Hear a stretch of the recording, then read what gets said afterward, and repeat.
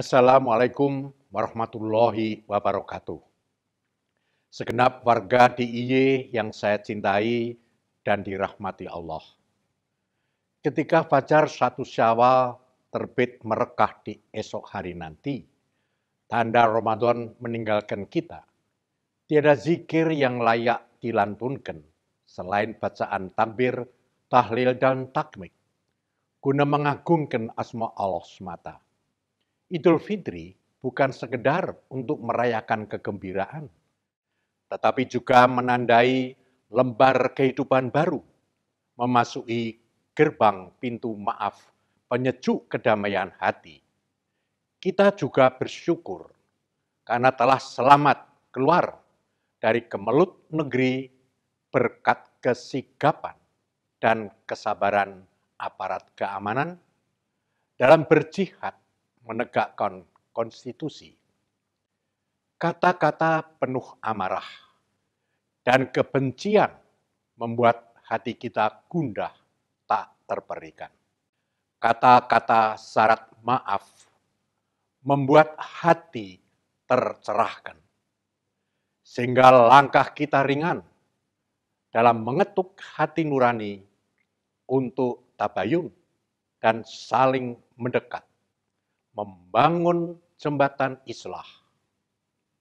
Semoga Tuhan yang Maha Bijaksana senantiasa menunjukkan jalan yang bijak, penuh hikmah dalam menyelesaikan setiap perbedaan antar anak bangsa.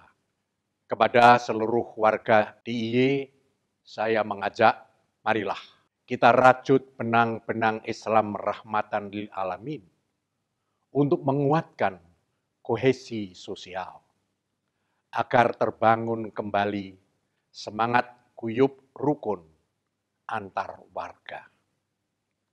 Hendaklah kita merayakan keperbedaan sebagai rahmat untuk saling menghargai dengan penuh toleransi atas pilihan dan keyakinan masing-masing.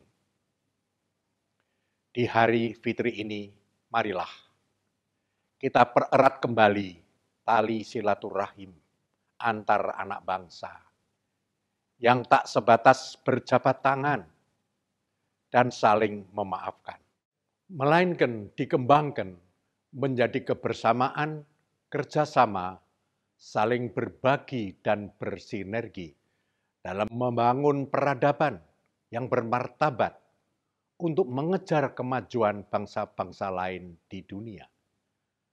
Akhirul kalam, marilah kita petik hikmah dan makna pesan hari kemenangan penuh rahmat dan berkah ini. Dengan saling berucap, Selamat Idul Fitri 1 Syawal 1440 Hijriah minal aijin wal faizin. Mohon maaf lahir batin. Insya Allah akan terbuka pintu maaf di setiap hati kita agar kembali bersemi bagaikan embunan fitri di pagi hari. Sekian, terima kasih. Wassalamualaikum warahmatullahi wabarakatuh.